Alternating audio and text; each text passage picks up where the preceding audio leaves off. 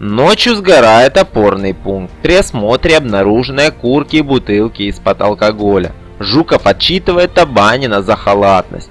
Северцев дает ход старому рапорту Табанина, он уволен. Федор видит следы бензина в лужах после тушения пожара. Их пункт подожгли намеренно. Табанин понимает, что поджог и увольнение – это способ его устранить, чтобы развязать руки Самойлов. Табанин уговаривает опера Никитина помочь ему с самостоятельным расследованием. Табанин восстановлен на службе, ему присвоено звание майора.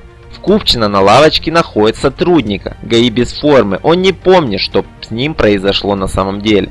Табанин и Федор расследуют это дело, которое оказывается связано с мошенниками.